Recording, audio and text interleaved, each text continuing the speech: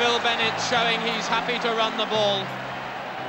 And there we saw that sparkle we know of old from the Llanelli fly half, Phil Bennett.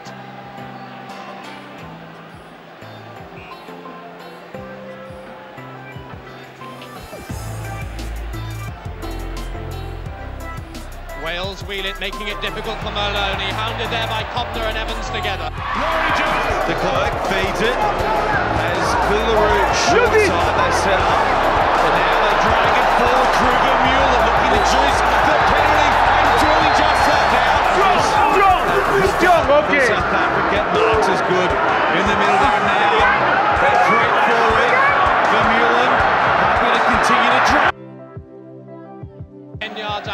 From the Irish line. Ken Kennedy, the world's most capped hooker with the throw-in. Meant for Moss Keane, that's him charging through.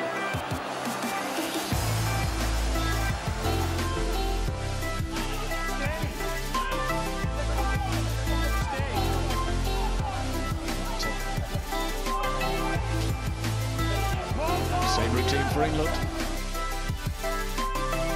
Neil. France fielded an unpredictable side in their international against Scotland. The Scot- with a decisive victory over the Sassenachs. The Let's Cup once again. And we are rolling on the World Cup final from Yokohama International Stadium. We are rolling on semi-final number one, New Zealand v England, and they mix it up right from the kickoff.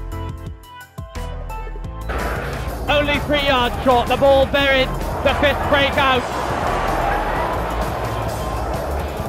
And really, this is a giant free-for-all, fitting more for the boxing ring.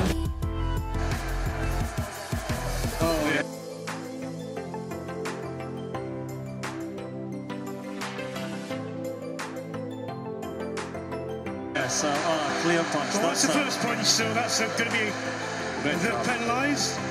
It's where this connects. That's a punch, isn't it? It does connect, and uh, he'll That's a red get. card.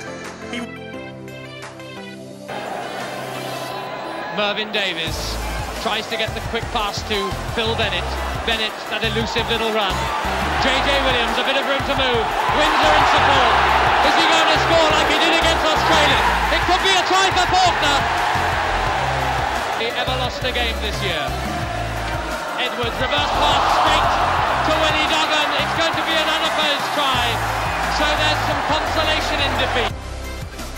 Good solid seven-man scrum. So Fuanga, Terranara against there. Ioane in big space. He should go all the way. What a great try. Wonderful start this from the home side. Dupont goes wide, and Colby surely will finish. Inside, outside, Stockdale nowhere.